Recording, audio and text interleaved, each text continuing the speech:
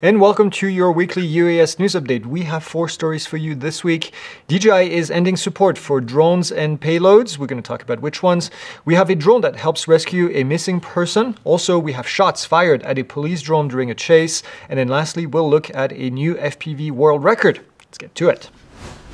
And first up, DJI has announced that on January 30th of 2026, they are going to officially end all supports for six of its legacy enterprise products, primarily the Matrice M200 V2, the M210 V2, and then lastly the M210 RTK V2. Now this is part of the company's routine product lifecycle management. It's not really a big deal uh, unless, uh, well, you've been relying on this platform for a while. Now after that date, let's be clear, uh, the drone is not going to drop off the sky. Uh, there will be be more no more technical support, there will be no official repairs, and no more firmware or compatibility troubleshooting.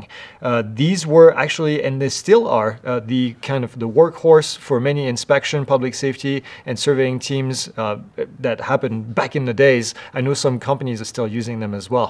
Uh, also on that list is the Zenmuse XT and the XT2 thermal cameras, and then the Lightbridge 2 transmission system, which are also going to be retired. Uh, DJI has recommended that users upgrade upgrade to newer models in order to take advantage of the improved technology and then also of the support. Uh, so if your department or your company is still using the Matrice 200 series, it might actually be time to start thinking about the next upgrade and uh, getting that next drone. Next up, we have a real-world Drones for Good story. We like those. A drone was instrumental in rescuing a 90-year-old man who had been lost for about 12 hours, they said, in freezing temperatures. Uh, this happened in uh, Atoka uh, County in Oklahoma. After a massive search that involved ground crews and even the National Guard, the Wagoner, I guess that's the way to say it, Wagoner County Emergency Management Team was called in with their drone. The volunteer pilot was Eric Lane. He launched a DJI Matrice 30 and then within just about 15 minutes, he was able to spot a clear heat signature in the woods using the thermal camera on the drone. Now he switched to the visual camera in order to confirm, and then he was able to see the missing man that who was actually curled up with his dog, uh, trying to stay warm. Uh, Lane then used the drone's onboard speaker to let the man know that help was on the way.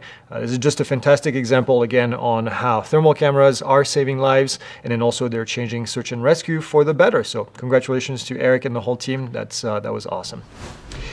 And in our third story this week, an incident, this happened in Lee's Summit in uh, Missouri. This highlights both the value and also the growing risk of using drones in law enforcement. According to KCTV, police were responding to reports of a man that was trying to get into luck cars. Uh, in an effort to find them, they were able to launch the drone, and uh, which was also a Matrice 30T, like the last story. Uh, the drone quickly located the man that was walking through a driveway and testing different car handles. The thing is, when the suspect realized realized that he was being watched from above, he allegedly pulled out a firearm and fired two shots at the drone. Uh, thankfully, he missed, and the drone continued its mission. Uh, the live feed allowed the officers on the ground to track the suspect as he was running uh, through different backyards and eventually leading to the arrest. Uh, a canine unit later recovered the stolen 9mm pistol that the uh, suspect had reportedly dropped on the way out. Uh, this case is yet another demonstration, I think, of how drones provide situational awareness for the entire entire team on the ground and make police work a lot safer. And then finally, we have an FPV world record that has been broken yet again, uh, this time by a significant margin. Uh, this is the team at Drone Pro Hub. They built and flown a custom FPV drone uh, at a verified speed of 374 miles per hour. That's 603 kilometers per hour, uh, which is just insane. Now, to put that in perspective, think about this. That's nearly half the speed of sound. Uh, that's Mach 0.49, Mach 0.49, which is just incredible. The new record smashes the old one uh, that happened just a couple weeks ago, actually. Uh, Luke Bell had the record. He flew a Peregrine 3, which had reached 585 kilometers per hour compared to 603 kilometers per hour for this new one. Uh, what's really impressive here is actually the engineering journey building this whole thing. This wasn't just about putting big motors, you know, on a frame.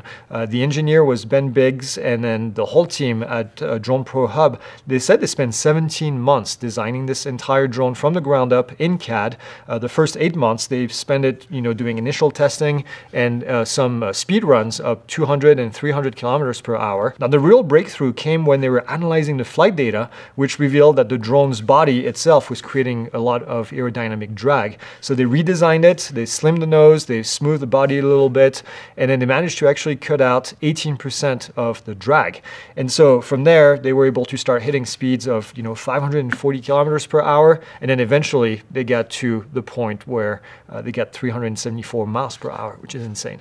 Uh, now, this might not be practical for most of us, you know, on everyday flights, uh, but there's a ton of lessons learned here about aerodynamics, about vibration, the power system, and then all the different speeds that they hit along the way. So this absolutely could lead to more stable, more efficient drones for everyone down the line. So I think it's a fantastic story of engineering and perseverance. So uh, congrats to the team on doing that kind of stuff.